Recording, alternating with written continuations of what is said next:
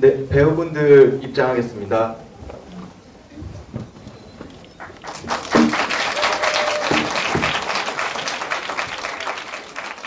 이번 블라우드 쉐이크라는 영화에서 제가 처음으로 음,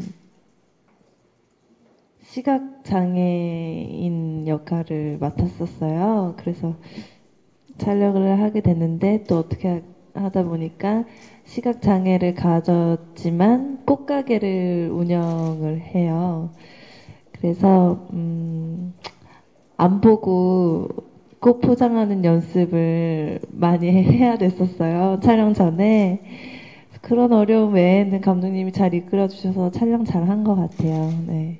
제가 아, 만들은 캐릭터는 그 아, 비틀, 사랑이 주제가 되는 것 같아요. 근데 사랑이 그 비틀린 사랑이죠. 예, 그 어떤 드라이한 어떤 어, 정말 삶의 어떤 희망이 없는 어떤 드라이한 신사가 어, 꽃집 수경에게 어, 정말 비틀린 사랑을 갖는.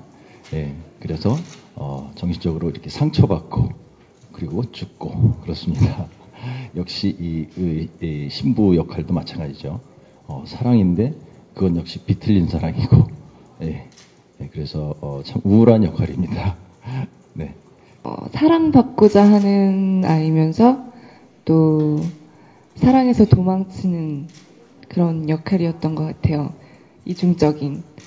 어, 근데 저랑 참 많이 닮았다는 생각을 해서 시나리오 읽으면서부터 루피를 정말 너무 좋아했고, 그리고 제가 첫 영화에서 루피를 만난 게 너무 행복했고, 어, 감사드리고요, 감독님한테.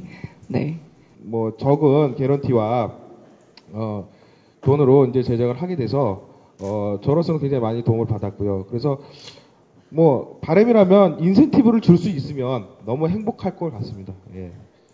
뭐 영화제 소식도 간간히 듣고 그렇게 있었어요. 근데 잠시 제가 잊고 있었던 것 같은데 너무너무 오늘 기분이 좋고요.